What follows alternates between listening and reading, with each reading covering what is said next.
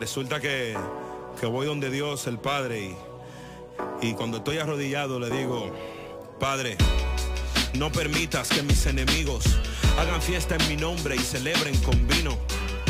Que mis pecados se publiquen y me ubiquen en el bullying como sentencia y único castigo. Vine a ser sincero contigo. Dime a quién más le digo si tú siempre has estado conmigo. Padre, cuida a mi hijo y mi boca ata. Vez que la abro es para meter la pata. Pero lamentoso el caso, me gano la vida hablando. Joseando de vez en